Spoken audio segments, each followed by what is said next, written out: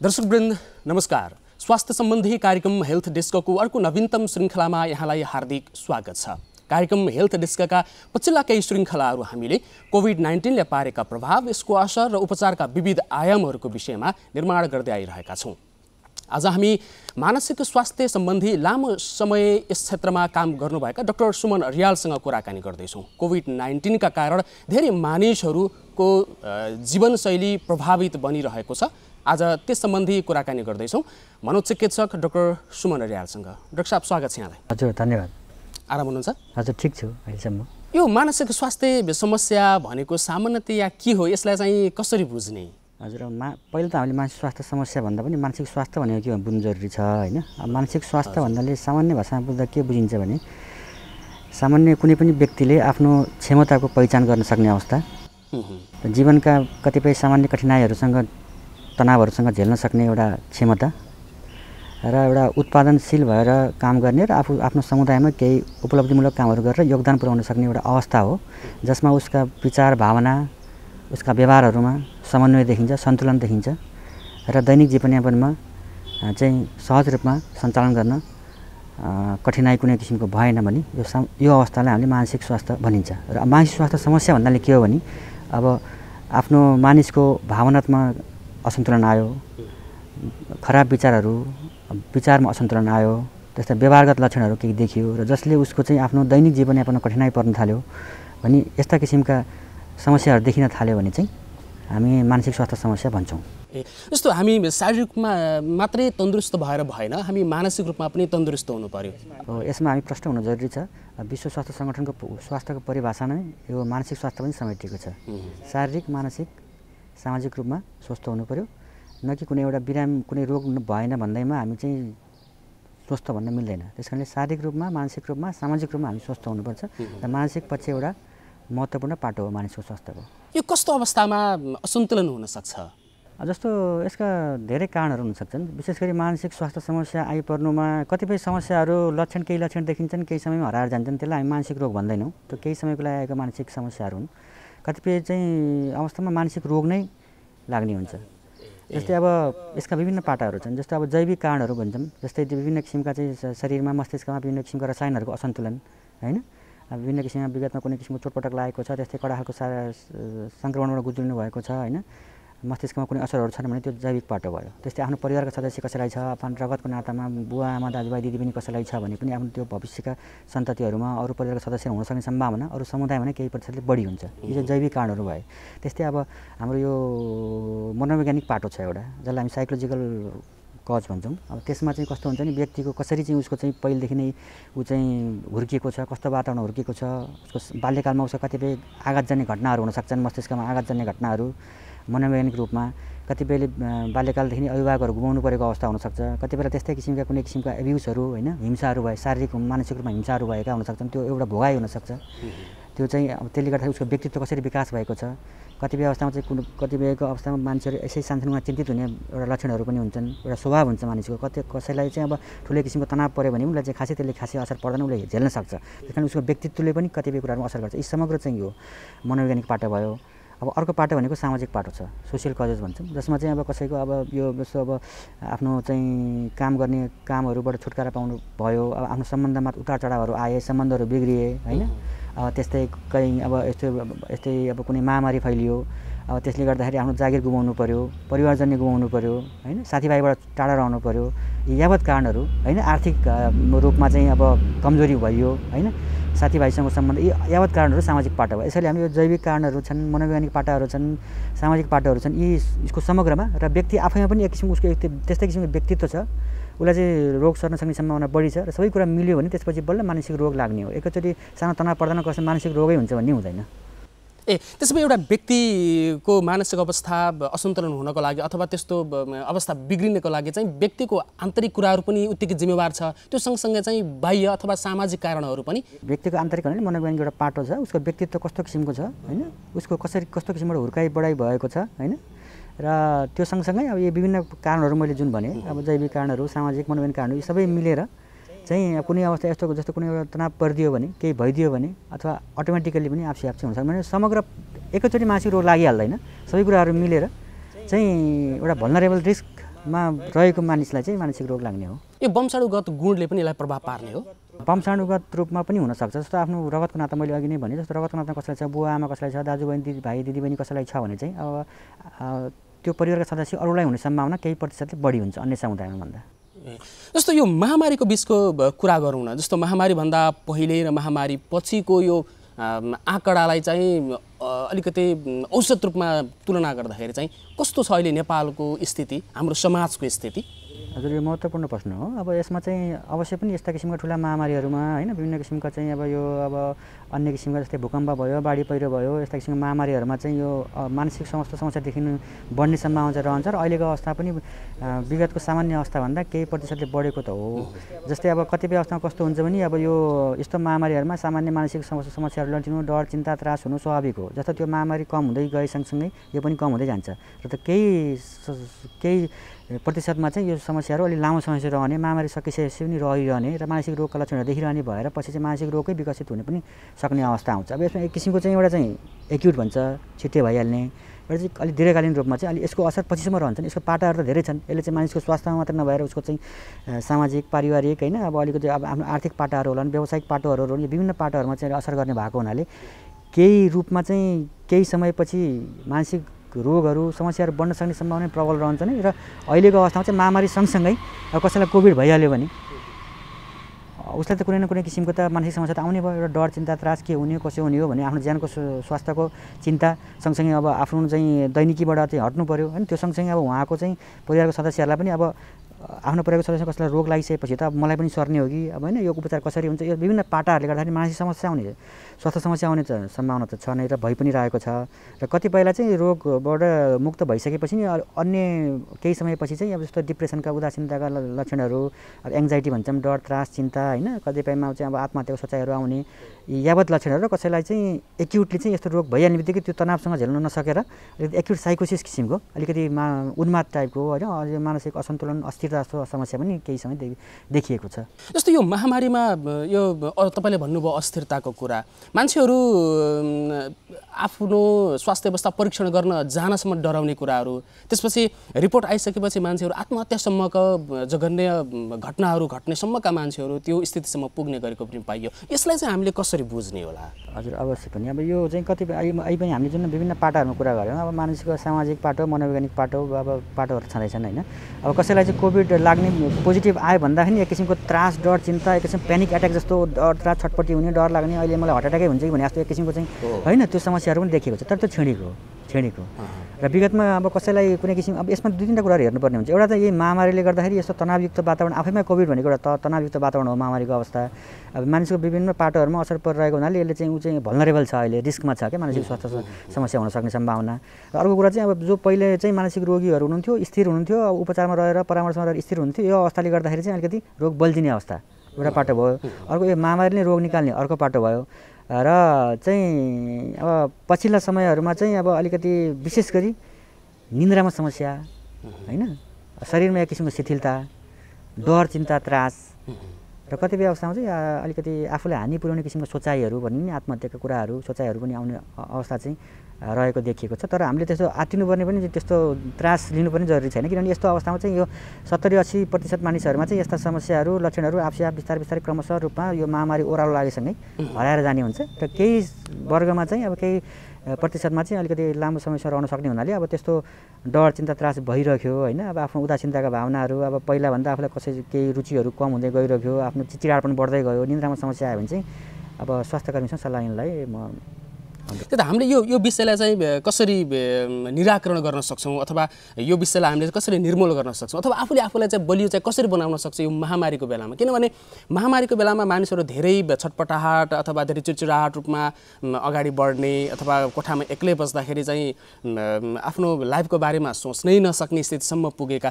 धेरै घटनाहरूको विषयमा हामीले सुन्दै आइरहेका छौँ। अब यो समस्याबाट मुक्ति पाउनको लागि हामीले के गर्न सक्छौँ? यस्तो छ। अब यसमा यो चाहिँ एउटा महत्त्वपूर्ण प्रश्न हो। महामारीलाई त आइ हाल्यो हामीले रोक्न सक्दैनौँ होइन? यो सँगसँगै अब कतिपय अवस्थामा आइसोलेसन बस्ने कुराहरू छन् क्वारेन्टाइनका कुराहरू छन् होइन? अब यद्यपि घरमै अब लकडाउनको अवस्था छ यो बेलामा चाहिँ यस्ता चाहिँ अब छटपटाट हुनु अहिले डर त्रास चिन्ता हुनु स्वाभाविक हो। कतिपय अवस्थामा हामीले स्वाभाविक रूपमा लिनुपर्ने हुन्छ। यसमा चाहिँ हामीले कसरी चाहिँ आफ्नो समय म्यानेज गर्ने कसरी आफूलाई चाहिँ मानसिक स्वास्थ्य समस्याबाट बच्नको लागि के के उपायहरू अप्नाउने भन्दाखेरि अब सरल कुराहरू छन्। यसमा हामीले सबै कुराहरूलाई एकदम स्पेसिफिक धेरै ठुलो कुराहरू गर्नुपर्छ भन्ने आवश्यक पनि छैन।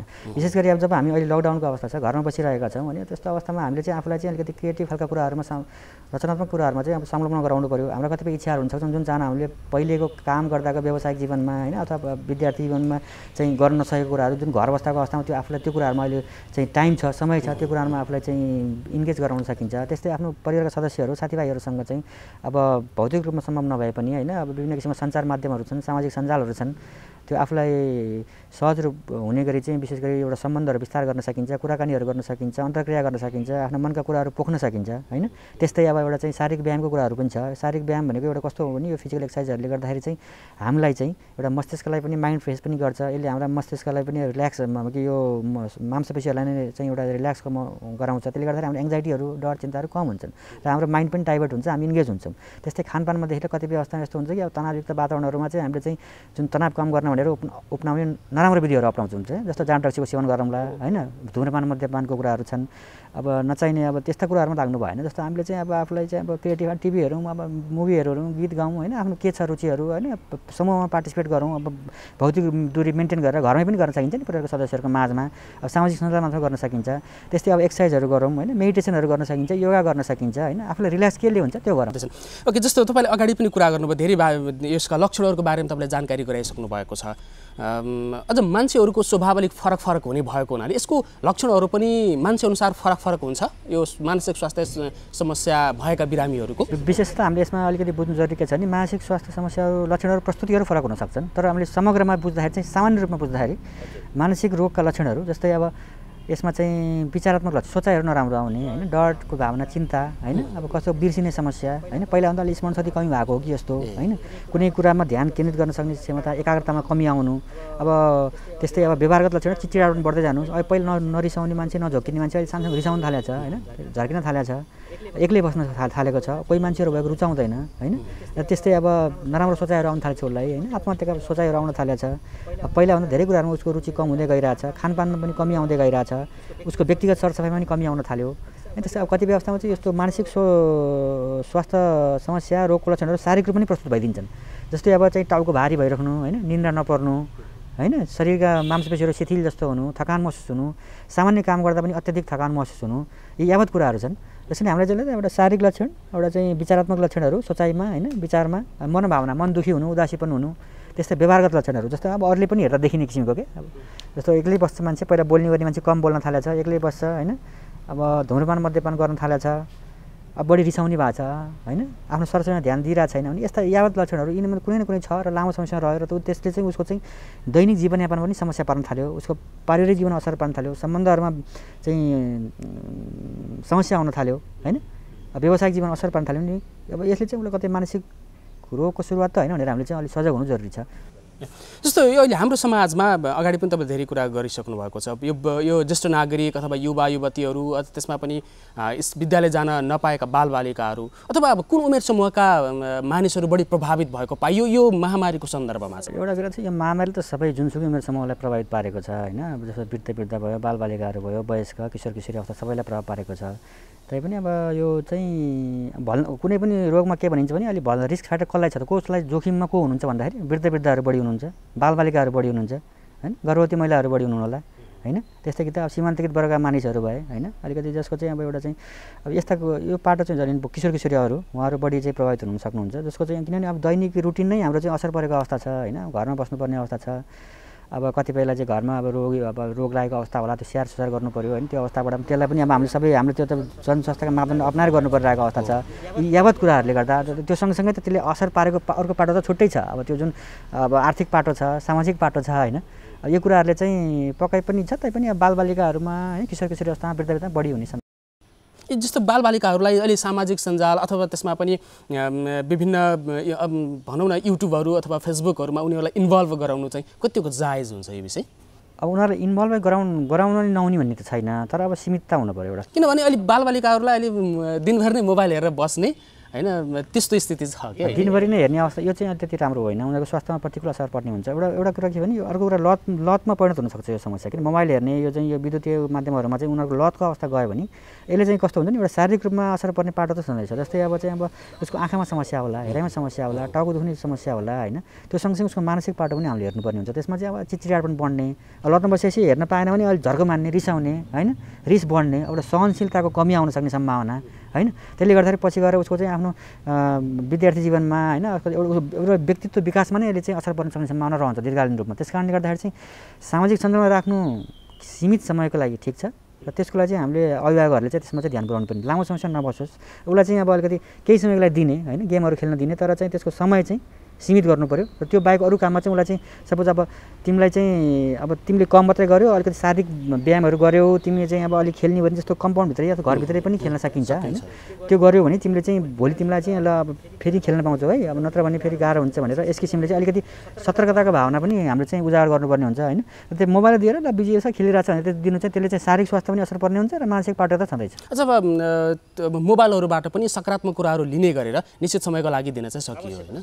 अवश्य। पनि सकारात्मक कुरा त लिनु नै पर्ने हुन्छ र बालबालिकामा अब त्यस्तो न्युजहरू हेर्ने भने उनीहरू बढी गेमहरू नै खेल्न बढी रुचाउँछन् होइन। त्यो कुराले त त्यसलाई पनि हामीले सीमित चाहिँ गर्नु पऱ्यो र उसलाई चाहिँ अरू पाटोहरूमा उसलाई चाहिँ इन्गेज गराउनु पऱ्यो जस्तो अहिले मैले भने उसको कुराहरू सुनिदिने उसँग खेलिदिने होइन उसलाई चाहिँ शारीरिक व्यायामहरू गराउने होइन त्यो पाटोहरू पनि छन् नि त। समय दिनु पऱ्यो समय दिनु पऱ्यो सुनिदिनु पऱ्यो होइन। के छ त? अब यस यतातिर ध्यान दिनु पऱ्यो खालि चाहिँ त्यही मोबाइलै दिएर मात्रै पनि समस्याको समाधान अरू समस्या निम्तिने खतरा बढी हुन्छ। अहिले युवा पुस्ता सबैभन्दा बढी समस्यामा देखिएको जस्तो हामी पाउँछौँ। किनभने एक किसिमको करियर निर्माण गर्ने सिलसिला चलिरहेको सन्दर्भमा महामारीले उनीहरूका सम्पूर्ण क्रियाकलापहरू एक किसिमले ठप्प बनाइसकेको स्थितिले उनीहरूलाई मानसिक रूपमा विचलन बनाइदिएको छ। यस्तो अवस्थामा तपाईँले कसरी हेरिरहनु भएको छ? कसरी मूल्याङ्कन गरिरहनु भएको छ यो विषय हजुर अब यो यो पनि अर्को महत्त्वपूर्ण पाटो छ। किनभने अब किशोर किशोरी अवस्था र युवा अवस्था यो भनेको एउटा महत्त्वपूर्ण जीवनको महत्त्वपूर्ण पाटो हो। यो व्यक्तित्व विकास पनि यो बेलामा हुने हो। क्यारियरको अवस्था पनि यही बेलामा हुन्छ। र कतिपय अवस्थामा चाहिँ निर्णय लिन सक्ने क्षमतामा पनि कतिपयमा सीमितता हुनसक्छ यो बेलामा। के गरौँ के दोधारको अवस्था हुनसक्छ होइन? अब यो बेलामा चाहिँ फेरि यस किसिमको महामारीले जसले चाहिँ उसको अब आफ्नो व्यावसायिक पाटो पढ्ने विद्यार्थी जीवन होइन? अब धेरै कुराहरू छन् यसमा। जबका कुराहरू भए। जबका कुराहरू भए सम्बन्धका कुराहरू पनि छन् है? धेरै कुराहरू छन् यसमा। अब यसले गर्दाखेरि चाहिँ अलिकति बढी मानसिक स्वास्थ्य समस्याहरू आउने सम्भावना बढी हुन्छ। त्यस कारण यो वर्गमा पनि अलिकति ध्यान दिनुपर्ने कुरा के छ भने हामीले सकेसम्म आफ्नो दैनिकीलाई निमित्त बनाउने प्रयास गर्नु पऱ्यो क्या। जस्तो अब तपाईँ अब म स्कुल जान्छु कलेज जान्छु अब चाहिँ जबको लागि जान्छु भन्दैमा अहिले छैन अथवा चाहिँ केही अन्त केही समयको अन्तरालमा छ भने पनि तपाईँ हामीले दैनिकीलाई चाहिँ सकेसम्म नियमित बनाउने प्रयास हो जुन हाम्रो सामान्य अवस्थामा थियो र त्यही टाइममा उठ्नुहोस् त्यसपछि केही व्यायामहरू गर्नुहोस् होइन? आफ्नो दैनिक कार्यपछि। जस्तै आफूलाई केही रचनात्मक कार्यहरूमा इन्भल्भ गराउनुहोस्। अब अर्को महत्त्वपूर्ण पाटो भनेको चाहिँ यो बेलामा चाहिँ कमसेकम तनाव कम गर्नेको नाउँमा अलिकति नराम्रो आफ्नो उपाय अप्नाउनु भएन भने नि। जस्तो तपाईँलाई रिस उठाएको छ भने अब भित्र केही घोडा निकाल्नुहोस्। तपाईँलाई कतिपय अवस्थामा एकदम तनाव हुन्छ रुन मन रोइदिनुहोस्। तपाईँ त्यो व्यक्त गर्नुहोस् न। तपाईँको गुम्सिया कुराहरू नराख्नुहोस् क्या। कुराहरूको त्यो एउटा निकास हुनु पऱ्यो। तपाईँको साथीभाइहरू होला सामाजिक सञ्जालमा व्यक्त गर्न सक्नुहुन्छ। मतलब पर्सनल्ली होइन? परिवारको सदस्यहरू कोही नजिक क्लोजसँग गर्न सक्नुहुन्छ।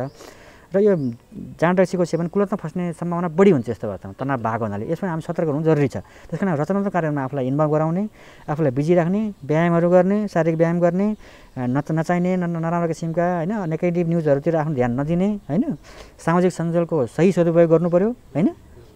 र त्यस्तै समस्याहरू भएमा चाहिँ अब आफ्नो परिवारमा आफ्नो अभिभावकलाई भन्नु पऱ्यो अथवा साथीभाइहरूसँग मान त्यो निकास दिनु पऱ्यो क्या त्यो एउटा किसिम कति राम्रो उपाय के हुन्छ भन्दाखेरि तपाईँलाई अब भेन्ट इमोसनहरू व्यक्त गर्नु पऱ्यो कि होइन आफ्नो मनका भावनाहरू त्यस्तो नराम्रो भयो भने व्यक्त गर्नु पऱ्यो अलिक त्यो त्यस्तो समस्या अलिक धेरै देखियो कि जस्तो घर परिवारमा सबैभन्दा बढी पढेको छ युवकले। उसका कुराहरू सजिलैसँग आमा बुवाले बुझ्नुहुन्न। अथवा त्यो लेभलमा उसको कुरा नै हुँदैन। बुवा मम्मीसँग सामान्य तरिकाको कुरा नै हुँदैन। अनि आफ्ना कोठामा बस्ने आफ्ना कोठाहरूमा थुनेर बस्ने त्यसले गर्दाखेरि मान्छेलाई एक्लोपन बनाउने अनि त्यसबाट उयो चाहिँ विभिन्न वेबसाइटहरूमा चाहिँ उसको लत बस्दै जाने अथवा कतिपय कुराहरू चाहिँ नेगेटिभ कुराहरू उसको मनमा आउने। यसले गर्दाखेरि चाहिँ झन् बढी समस्या निम्ति आएको पाइयो कि? अब यस्तो अवस्था छ अब अब यस्तो अवस्था छ भने चाहिँ कमसेकम एक्लै चाहिँ बस्नु भएन एक्लै चाहिँ बस्नु भएन अब जस्तै कुराहरू त त्यो हिसाबमा नबुझ्दा नबुझे पनि तपाईँ सँगै बसेपछि त एक किसिमका चाहिँ सामान्य कुराहरू त हुन्छन् होइन? जस्तो तपाईँ सँगै एउटा परिवारको सदस्यसँग बस्नुहुन्छ घरका कुराकानी होलान् परिवारका कुराकानी होलान् अरू कुराहरू होलान् कुराकानी गर्न सकिन्छ अब जस्तो सँगै बसेर टिभी हेर्न सकिन्छ जस्तो अब तपाईँ केही घरमा खानपान बनाइँदैछ भने पनि त्यसमा पकाउनै परेन तपाईँ समाउन हुन सक्नुहुन्छ नि त होइन? ती कुराहरू गर्न सकिन्छ। त्योसँग अब त्यस्तो समस्या नै छ भने त तपाईँहरू चाहिँ अब त्यो अवस्थामा चाहिँ अब एउटा चाहिँ परामर्श उपचार त लिन सक्ने अवस्था त छँदैछ त्यसमा त आफूले लिनु पऱ्यो अगाडि बढ्नु पऱ्यो जस्तो अहिले परिवारमा सबैभन्दा बढी विग्रह उत्पन्न हुने समय पनि रहेछ यो महामारीको सन्दर्भमा।